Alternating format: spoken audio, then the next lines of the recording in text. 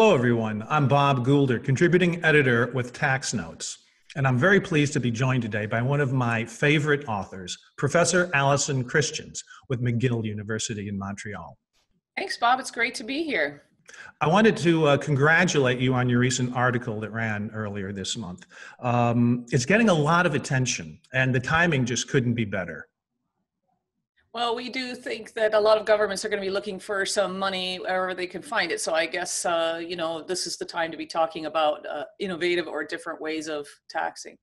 Well, what you propose in the article is certainly innovative. And I have to confess that when I first saw the headline, I did a double take because, like everyone else in the international tax community, for the last year or so, I've been obsessing over the work of the OECD inclusive framework and, and trying to figure out how exactly would Pillar 1 and Pillar 2 work if these were broadly adopted and, and establish a new um, international consensus for how we're going to tax corporate profits. And then I see your headline and you mention pillar three. And my first thought was, oh no, I, I, I missed something. I'm going to have to go back and start reading hundreds of pages of, of materials uh, from the OECD because I totally glazed over pillar three but but this is your own idea this is let's call it a um, a stabilizing supplement to what the oecd is proposing correct yeah, that's right. So, like you, I've been busy really trying hard to keep up with the OECD work on the digitalization of the economy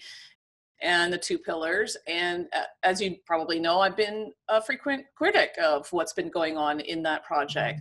But right now, it's kind of all hands on deck, and you have to work with the infrastructure that you have, not the one you want. And so we have two pillars. Uh, they do different things, but I've been sort of studying for the last year how they interact or if they interact. And I think the idea of the third pillar came to me because I was using elements from both of those two pillars and it just made a lot of sense to make it a stabilizing third pillar. You can't sit on a stool with two legs. And uh, of course, there's also a global public health crisis going on, the, the COVID 19 pandemic. And that actually features in indirectly to what you're proposing because you're talking about in the third pillar a global excess profits tax and and and those are that's a quirky tax to be talking about. It's a, a, bit of a relic from a bygone era yet it seems very timely and specifically well tailored to exactly what's going on in the world today. So it's sort of a blending of things that are very old and very new. So so let's back up a little bit before we get into the granular aspects of of, of your article. Uh, an excess profits tax. When i first explained it to somebody their immediate reaction is that it somehow feels redundant or duplicative. Because unless you're a tax haven, almost all countries, right, already have a corporate income tax. So if you already are, are, are extracting a tax on capital returns at the entity level, via the corporate income tax. Why then would you need this extra thing that kind of feels like a, a surtax, really? But they're not duplicative, are they? And they're, they're, they're not redundant. Uh, that's right. I think, uh, well, we for sure we're going to see a lot of corporations are not going to have to pay a corporate tax in the coming year because they're not going to be profitable. And I think a lot of firms are going to be in a situation where the corporate tax is not doing much of anything uh, except uh, carrying losses forward for a while. Uh, but then again, there's going to be some firms that are in a moment where the economy is broken. The economy is really broken, but it is going to work to the fiscal uh, or the financial advantage of some firms. And that's really what the excess profits tax is trying to get at. I actually really like the OECD's term for this when they were discussing this. They talked about super profits. Um, and I actually like that a lot better. It's not a great acronym, right? Like a super profit profits tax is a SPTA, uh, uh, uh whereas uh, a, an excess profit tax, a global excess profits tax, gets us a GEP tax. But the idea is just the economy is broken in a fundamental way. Uh, everything is turned upside down.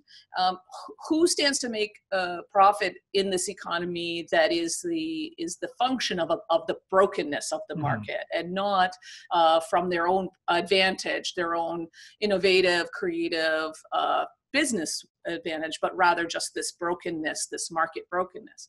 So I would just say it, it sounds old. Uh, an excess profit tax sounds old. It sounds like something you could throw about 100 years ago uh, in the mix of a world war. But actually, I think it's of a piece with the kind of idea that some firms um, benefit from market conditions that are that have nothing to do with their uh, business decisions. And so you can liken it uh, to by a different name. You know, a resource rent tax is sort of the same idea. Uh, you know, in the good years or when the market inexplicably, you know, kind of explodes, uh, there's the resource rent tax. In many years, it doesn't get used at all, and in some years, uh, it will get used.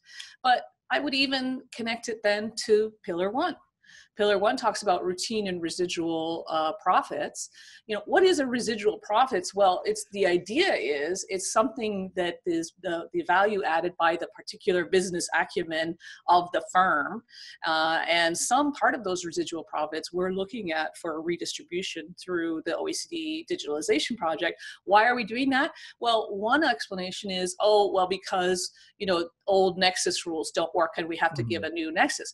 But another reason we're doing that is because we understand that we don't have a word for the value that's being created in countries that are contributing to this innovative uh, digitalization industry. We don't have a word for that, so we don't have a way to tax that. And so when you talk about residual profits and then you start ca- carving out a slice of that, you're thinking, okay, th- this this piece of the residual profit the one that we're going to redistribute is somehow it's in the wrong place. The value isn't correctly articulated. And i think an excess profits tax is doing a very similar thing. It's of a piece to those other ideas. And intellectually that's i know it's a little bit much but what is really the difference between an excess profit, a super profit, a monopoly rent, a resource rent, and then this little piece of the residual profit in a digital firm that is not created by the firm itself, but is created by the market that creates the conditions for that firm to thrive. So does does the tax have almost a quasi punitive nature to it? I mean, uh, you're, it doesn't tax a company that was smart or efficient. It sounds like you're trying to develop a tax that is is is targeting companies that were just too lucky at the wrong time. Yeah, I don't I don't think we should attach anything pejorative to it. I think it's more a reflection on the market than the firm. So when the market is uh, broken and a monopoly uh, exists, that's not the firm's fault. Every firm would like to be a monopoly. That's the nature of the business. I mean, of course, I want to be the only me there is. I don't want any competition because I'm great the way I am. and I want everybody to buy my products, right? So that's the natural uh, uh, inclination of the firm. But the market, a perfectly competitive market, there would be no monopoly and there would be no excess profit. It's the failure of the market that makes us say, okay, we need to fix it. And so there, I think we can liken it um, to other taxes that are thinking about failures such as, for example, the failure to internalize ex- certain externalized costs. So there I'm talking about a carbon tax. Like mm. there's not an economist in the world that won't say that you need a carbon tax, not because people are doing a bad thing, we're doing a, a, bad thing maybe but it's because the externalizing the price of carb the the cost of the consequences of carbon on society while internalizing the profits is just an economic error. We need to just fix that error. And it's not the firm isn't doing something bad by not, uh, you know, internalizing those costs. They're just following the logic of what the market has valued, and the market has not valued, you know, uh, has not put a price on that externalized future cost of carbon. Um, so it's the same idea. So it, you could think of it as punishment, but to the extent it's punishment, it's it's it's a punishment of our collective inability to create a functioning market or sustain a functioning market, and it's not a punishment of a firm at all. I wanted to ask you about the temporary nature of these taxes. As we mentioned before, we, have seen them about 100 years ago. Uh, the United States had one during the war years, World War One, World War Two. And, and if I'm correct, these taxes fell out of favor very shortly after the wars ended why is it because what you've just described makes all the sense in the world it seems like a great tax why is it that they sort of um, recede from public view once the crisis is over yeah well i think there's a we really would need a historian to really give us the big picture on this, but I would say there's a couple of ideas here. One is name the tax that Americans like. I'll, I'll wait. Right, you, you can't, right.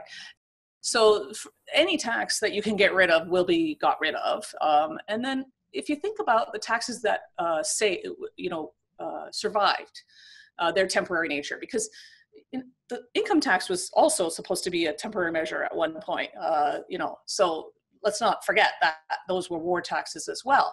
But the income tax survived, uh, and the Social Security uh, tax, the payroll tax, which was created later, also survived. And why did those survive? Well, uh, historians will give us different ideas, but certainly with the Social Security, we it's clear the uh, the idea was you tag it to the benefit, and then people will never be able to destroy that tax, right? And with the income tax, it's the idea that well, if you don't have income, you don't pay it, and so that's uh, the ability to pay notion is so powerful. It's such a powerful um, emotional uh, emotionally satisfying uh, uh, explanation for how a tax should work. Those with ability should pay, those with great ability should pay more. And an excess profits tax, by its name, starts thinking, okay, well, when the market is fixed, or we go back to normal, whatever that looks like, well, we don't need this because now the market isn't uh, broken anymore. It's it's functioning now. You know, these are the stories we tell ourselves. I mean, we're obviously wrong about that all the time, right? Like we were wrong about the market being you know perfectly competitive in 2008 we were really really wrong about that. Um, and it it crashed and we were wrong in the 70s and we were wrong in the 30s and uh, or 1929 and so we've been wrong many times but there's this idea of there's something like a normal amount of wrongness uh, a normal amount of sort of market failure that we tolerate with sort of right, a combination of regulation and taxation. And but when the whole thing goes uh, completely wrong. We can all look around objectively and say, like, this is really broken. That we can see the need to, um, you know, understand that these things have long-term consequences, and we can't just sit by and we can't regulate them away. We've got to figure out how to um, to incorporate that into a tax system. Well, all right. Let's let's say I'm a multinational corporation and I'm trying to figure out if I would be subject to a excess profits tax computationally, uh, what's going on? What does the tax base look like? I mean, how do you differentiate between uh, a super profit and an ordinary profit? Because the one, presumably, the latter would presumably be exempt. Yeah, exactly. So this is where the OECD's Pillar One, you know, starts to it starts to come in handy, having studied that, right? So those of us who've been studying Pillar One have been saying for quite a long time, well, how are you going to draw the line between routine and non-routine profit? And um, I think it's safe to say, it might be a little controversial to say that economists cannot draw that line. We all know that economists cannot draw that line. It, it defies the drawing. Um, I've said it before, I've said it in different places, but you know, you just simply can't take the dollar and, and refragment it. You can't take something that's the product of multiple inputs uh, and then fragment it out and say what it belongs to. So it's really hard to draw that line. And that tells us that we're going to draw a political line. We're going to make a compromise and we're going to say, we're going to use some economic studies and we're going to use some estimates to try to figure out what's normal and in an excess profits tax, we're going to call that the normal routine. And in pillar one, we're going to call that the routine profits. Uh, so we have normal and routine kind of as cognates in this world. And then in the OECD framework, in the digitalization project framework, we have this excess, which is called non-routine or residual. And that doesn't mean that the market's broken in the OECD model, although one might say some part of it does mean the market is broken. We need to fix where value is being um, allocated under that model. So the, it, when we're trying to figure out, okay, what's the construction of this base, there's a political decision that's going to be made between routine and non-routine. We can see it in the OECD's um, calculation where they suggest, you know, what percentages it might be.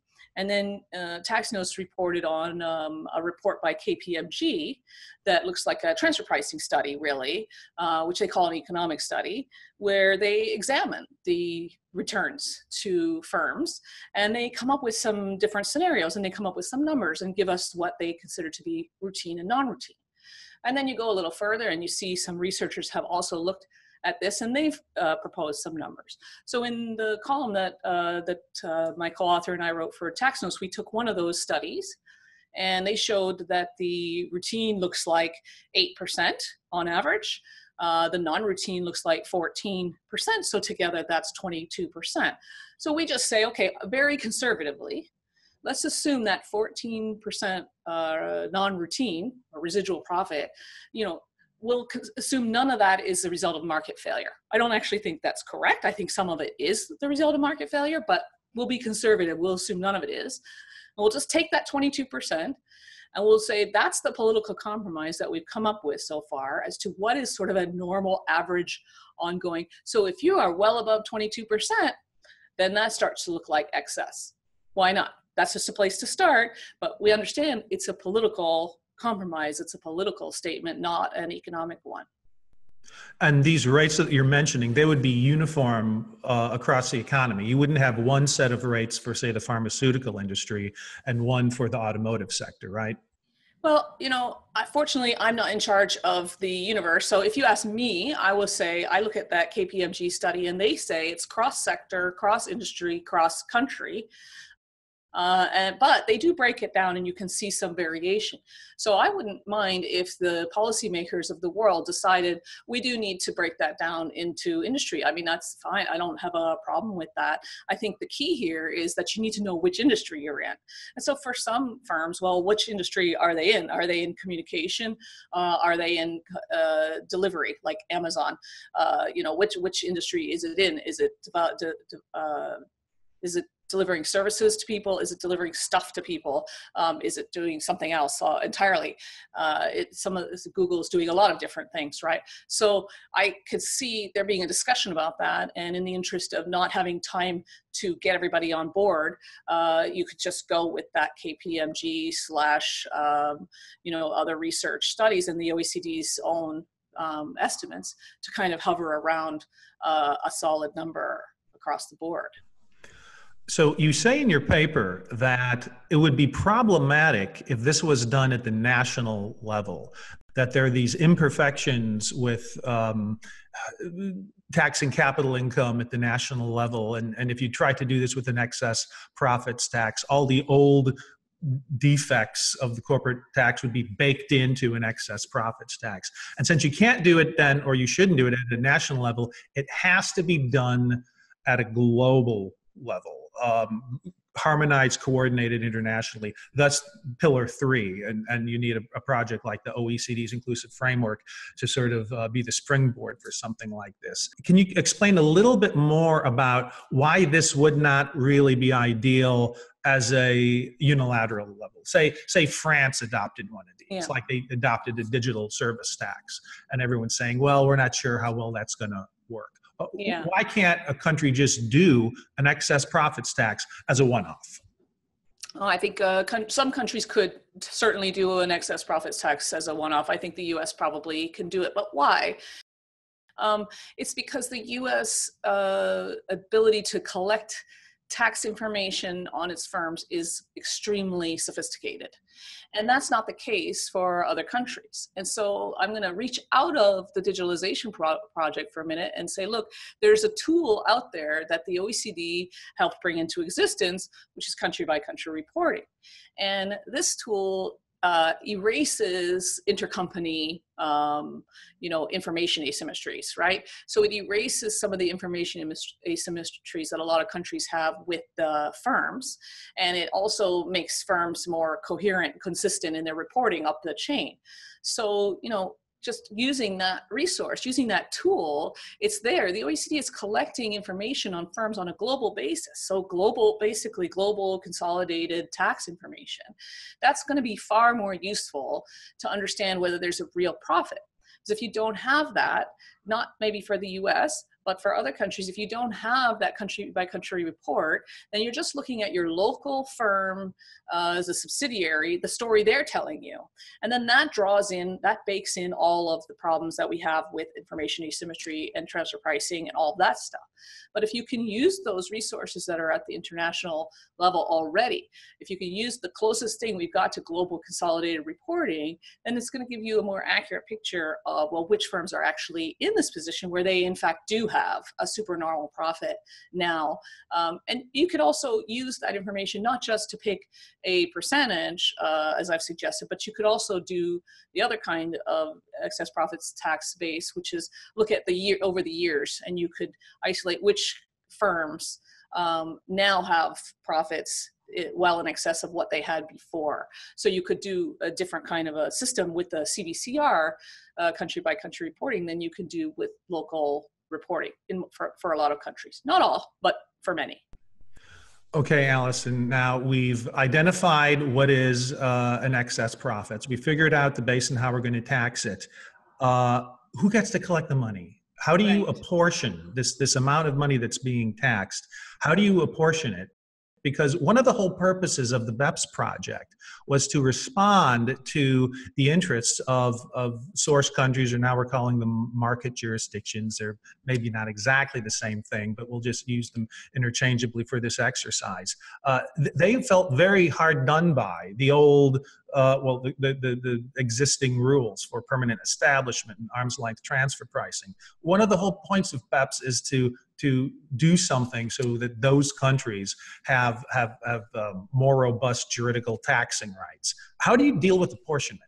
Yeah, I think it's a great question, and I think uh, so. Really, here is the maybe the most difficult uh, and also possibly uh, most interesting aspect of the of a GEP tax, really, and that is if it's a transition tax, a temporary tax, uh, then it's, it's a tax with a purpose.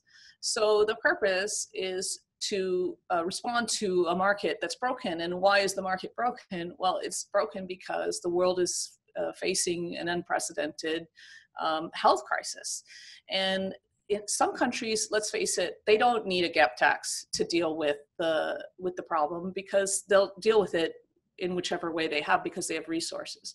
But in other countries, other countries are already overwhelmed by the financial needs to respond to COVID-19.